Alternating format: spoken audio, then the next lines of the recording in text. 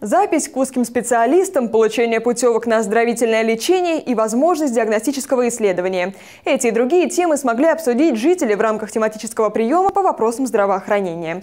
На этот раз он прошел в консультативно-диагностическом отделении номер 3 детской поликлиники номер 2 МГКБ. Специалисты отмечают, как правило, независимо от того, в каком медицинском учреждении проходит прием, жители решают вопросы, касающиеся здравоохранения в целом.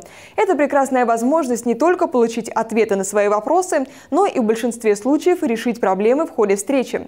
Напомню, тематический прием проходит каждые две недели. О дате, времени и месте его проведения вы можете узнать на официальном сайте администрации.